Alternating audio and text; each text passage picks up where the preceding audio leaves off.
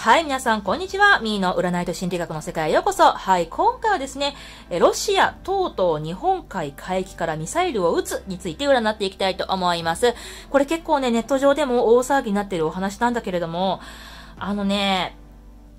どう考えても、この日本海の海域からね、ミサイルを撃つってことは、まあ、アメリカ含め、まあ、大きくは日本ですよね。日本に対する威嚇の、まあ、メッセージがすごい強いと思うんですよね。で、なんでそんなことをするのかっていうお話なんだけれども、おそらく日本の経済制裁が、ま、効いてるからじゃないかっていうね、憶測が結構あったりするんですよね。で、まあ中にはですね、専門家の方はですね、まあ、経済制裁なんか効かないよ、やっても意味ないよっていうね、人もね、まあ、怪しげな専門家さんもいらっしゃったわけなんですけれども、まあ、だからね、こう、ウクライナが降伏すべきだみたいなことをね、言ったりする人もいたりしたんですが、ぶっちゃけね、本当に効いてるのかっていう部分をね、タロット社の方に聞いていきたいと思います。あとですね、えー、この、ミサイルを撃つ動きですね、あんまり続くようであれば、もしかしたら日本海をね、航行する漁業の方とかね、もしくは運営の方とかね、そういった日本の方に当たる可能性がとても高いわけですよね。万が一ですから、その部分についても占っていきたいと思います。ではね、早速カードの方シャッフルしていきたいと思います。よいしょ。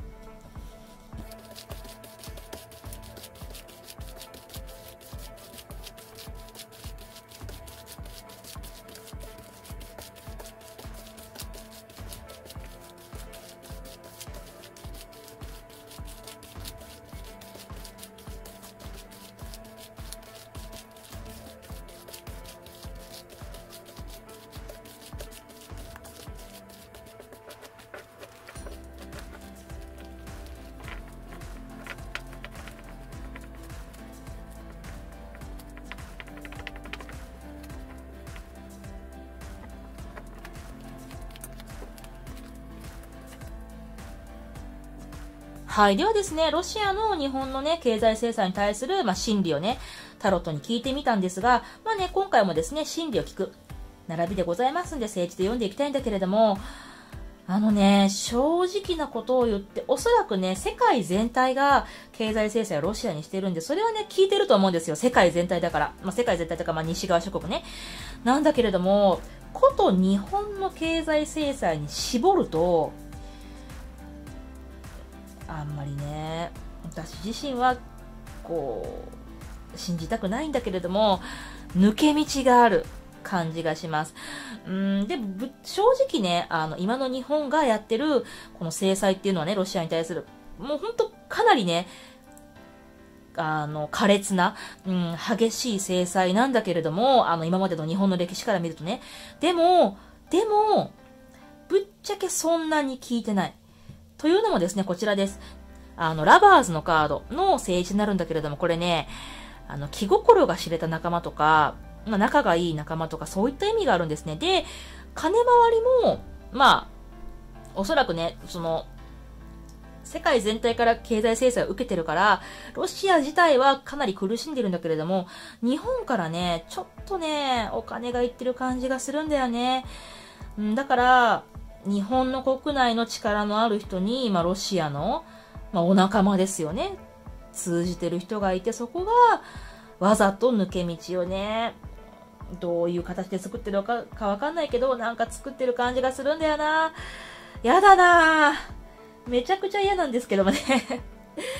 うん、聞いてて欲しかったんですけども、だってね、これね、その気心が知れた仲間ってことは、まあ、要するにね、まあ、スパイってことでしょ？内通者でしょ？うーん、それが日本国内っているってことだから、めちゃくちゃ嫌なカードなんですけれども、今回の限って言うと。うん、だからなんかね、意図的に抜け道を作ってる人がいる感じがします。で、それをね、まあ、裏付けるカードが実はね、こちらの2枚になってくるんだけれども、この真ん中のカードね、これがですね、あの、ワンドのページじゃあ、ワンドのナイトの聖地になるんだけれども、これはね、すごくね、やる気に溢れるとか、ぐいぐい押していくとか、そういった意味があるんですよ。で、こちらはね、あの、逆に、何でも言われた通りに受け止めるとか、あの、まあ、受け身なね、意味があるね、カップのナイトのカードなんだけれども、おそらくね、真ん中にこれが来ているってことは、これがロシア。だから、ぐいぐい押していくとか、営業かけていくとか、そういった感じね。で、こっちが多分ね、日本だと思うんだよなうーん、だからこことここが日本、これがロシアというふうに読むと、おそらく、まあ、さっきも言ったんだけれども、ロシアが押せばなびく人がいるって感じだと思うんですよね。うんとなると、やっぱりなんか内通者がいる感じがして、正直完全な経済制裁ではなく抜け道がちらほらある。太めの結構。でそれがロシアにあのお金的なものをもたらしてる利益をもたらしてるのかなって感じが見えますね。やだな。やだな。外れてほしいな。と思うんだけれども。でそれでいくとですね、まあ、ロシアのねあの今回の目的はねまた違ってくるわけですよ。経済制裁に対する牽制ではない。となってくると、まあ、どういう目的なのかって話なんだけれども、普通に威嚇かな。やっぱあれかな。北海道とかそういったものを狙ってんのかな。だからその、うーん、領土的なものを欲しいっていう意味での威嚇な感じがしますね。となってくるとね、まあ必要に駆られてやってるというよりも、イデオロギー的なものだから思想でやってるわけだから、続くのかなって感じもするんだけど、うーん、まあね、今回ちょっとここで置いときたいと思います。ちょっとね うーん、そうね、まあ、少なくとも経済制裁は抜け道があるのかなって感じがいたしました。はい、じゃあ次はですね、もっと重要なこと。これからね、このミサイルのね、発射が続くのかっていう部分ですよね。それを占っていきたいと思います。よいしょ。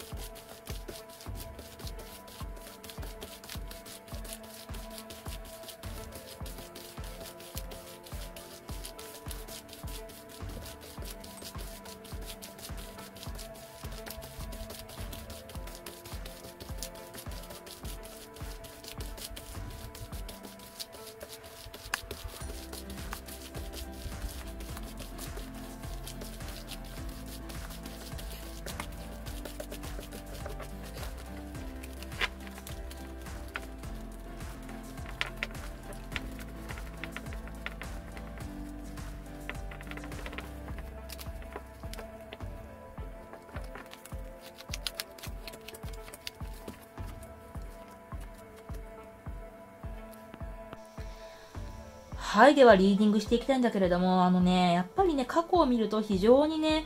あの、パワーバランスが崩れてた感じがありますね。うん、まあ、津軽海峡を通って、まあ、ロシアのね、あの、艦隊が行ったり来たりしてたっていうね、ニュースもあったりなんかして結構ね、リスナーさんの中にもですね、あの、不安だってことをね、おっしゃってる方もいらっしゃったんだけれども、やっぱりね、かなりね、パワーバランスが崩れてた部分はありました。で、今なんですが、あのね、これを言ったら、正直、え何言ってんのって思われるかもしれないんだけれども、あのね、カードが言うにはよ、カードが言うには、今は比較的マシって言ってます。はい。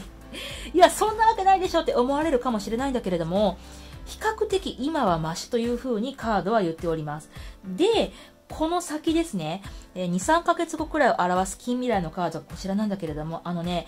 ここからね、どんどんどんどん良くない方向に進んでいきます。で、これね、カップの9の逆位置なんですが、意味的にはですね、当てが外れるとかそういった意味があります。不運とかね。ですので、おそらくこのね、今回のミサイルの件でいろんな努力とかね、あとはまあ、良くないけど妥協案ですよね。そういったものを、まロシアに対してしていくと思うんだけれども、あとは防衛とかね。でも、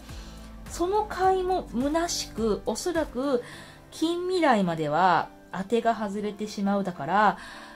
防ぐことはあんまりできないと言ってます。ですから多分ね、もう、このね、活動は続く感じがします。だからミサイルかどうかは限定はできないんだけれども、まあ日本海が結構荒れてしまうとか、うん、あとはまあね、近くの全く関係ないね、日本の漁船に威嚇するとか、まあ、ミサイルも含めて結構そういったことをね、ロシアは日本の努力を尻目にやってくる感じがありますね。で、さらにね、怖いのがこちらです。その先の未来なんですが、えソードの5の政治が出ております。意味的にはね、欲望のためなら相手が傷つこうが構わないとか、激しい戦闘とか、まあ、そういった意味があります。ですので、まあ、戦闘まで行くかどうかわからないんだけれども、ロシアは結構身勝手にやってくる感じがありますね。うーん。だから、まあね、もう結構ね、経済のね、詳しい方の中では、あの、もう言って、言っても、ロシアは経済的に限界だから、まあまあ、もうすぐ崩壊するだろうとか言われてるんだけれども、なんかね、嫌な感じがするんですよね、すごく。うん、外れてほしいんですけどね、こんなこと。ほんと外れてほしいんですが、すごく嫌な感じがします。だから、ロシアが仮にデフォルトして倒れたとしても、まあ、新しい政府とかもしくは残党がね、なんかね、ちょっかいかけてくる感じがある。で、それも結構、本当に日本のことなんか気遣わずに、やってくる気配があるから、このまま行くとね、ちょっと怖いなと思いますね。ですので、さっき私が言ったね、まあ言ってロシアはもう崩壊するだろうから、あの、大丈夫だろうっていうね、期待をしてらっしゃる方もいると思うんだけれども、タロットは、いや、2、3ヶ月後まだそんな当ては外れちゃうよってことを言っておりますんで、ちょっとしばらくはね、日本海はね、荒れる感じがありますね。何事もなければいいんですけれども、はい。で、あのね、そうならないためにどうしたらいいのかっていうカードはこちらになるんですが、これがですね、ワンドの6の政治になりますって。意味的にはね、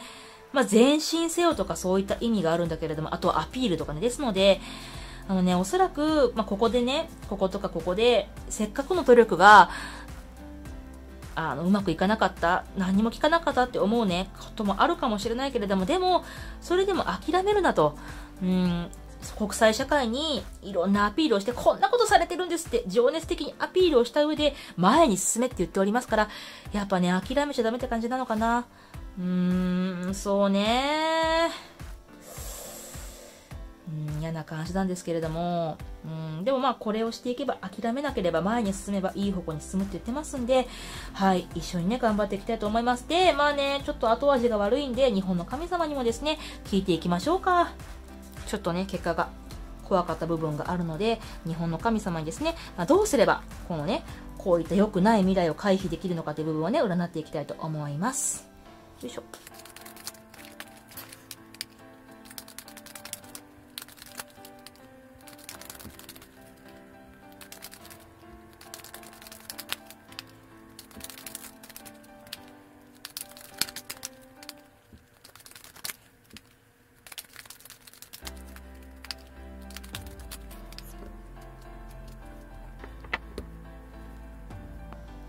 はい、ではリーディングしていきたいんだけれども、まあ、今回はですね、八井和地の神様と大山積の神様が出てまいりました。で、これね、前も見ましたね。北海道の今後を占った占いの時に出てきたんだけれども、一応ね、リンクもね、あの、概要欄の方に貼っておくんですが、あのね、やっぱりね、根っこが一緒なんでしょうね。うん、これもリンクしてて、やっぱりすごい強い力パワーの木みたいなものがブワーっとね、今日本に来てる。で、それは、あの、良くも悪くもいい波も起こすし、悪い波も起こすし、で、さらにその波がね、すごいうねりになるんですよね。大きいからこそ。なので、まあ、転換期ですよね、時代の。うん、本当に、今まで想像しなかったようなことが起きるから、もうそれに備えようって感じかなというふうに思いますね。うーん、で、まあ、プラスアルファ、やっぱりこう、強い力をきちんと行使しろってことも言ってますね。うん、これね、あの、強い力、まあ、もともとは雷の神様なんだけれども、強い力そのものを表す神様でいらっしゃるんですね。ですので、やっぱり、まあ強いうねりが日本にも来てるし、日本人もそういったもの、強い信念とか強い力とかそういったものを今こそ発揮するときってことをね、おっしゃってる感じかなというふうに思います。で、同時にね、こちらです。大山積の神様、まあ山の神様なんですけれども、もともと、あのね、意味的にはね、あんまり理論武装するなっていうようなね、意味があるんですよ。つまり、やっぱりね、人間って、あの、相手に勝ちたいとか、相手に話を聞いてほしいときに、いろんなね、知識をね、壁みたいに作ると思うんですよね。こう、こう、こうだからこうだよね。だから私は正しいよとか、あとは、こういう風な、まあ、歴史上のね、流れがあるから、あなたはこうしたらおかしいよとか、そういったね、まあ、いろんな理屈で相手を、まあ、ねじ伏せようとしてしまいがちなんだけれども、多分ね、あんまり聞かない。うーん、もう、今のロシアに対してはあんまり聞かないし、頭でっかちになると良くないって言ってます。ですから、まあもう、本当に、ストレートにね、伝えるのが一番いいと思うんですよ。例えば、まあ、日本海ね、チョロチョロされてちょっかい出されたらね、日本人は間違いなく嫌ですよね。じゃあ、嫌です。不快です。やめてくださいっていうのが一番っていうふうに言ってます。あんまりね、理論っぽく言っても、理屈っぽく言っても、もう聞かないって感じがありますね。むしろもうそうストレートに不快です、やめてください、嫌ですって言った方がいいし、まあ、なんていうのかな。話し合いとか理論とか、議論とかね、そういったものの次元ではないのかなって感じがしますよね。多分そういうことをおっしゃってるのかなというふうな感じがあります。ですからもう嫌なものは嫌。ストレートに言う。それが一番手っ取り早いと言っておりまして、まあ、そこにね、強い力が重なってるので、うーん、まあね。それがまあ、ね、言葉で伝わらなかったら鼓舞していくとかそういう風にならなければ一番いいんだけれども、うん、でもね、日本ってね、まあ、あの、海外から